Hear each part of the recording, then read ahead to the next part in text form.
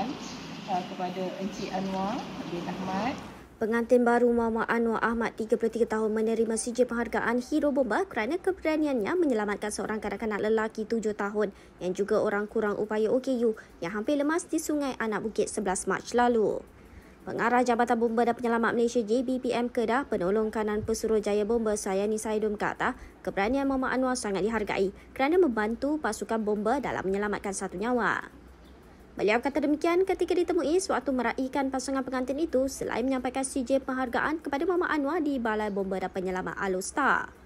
Sementara itu, Muhammad Anwar ketika ditemui berkata kejadian berlaku secara spontan dan atas dasar kemanusiaan dia terus terjun ke sungai supaya terdengar jeritan ibu kanak-kanak berkenaan.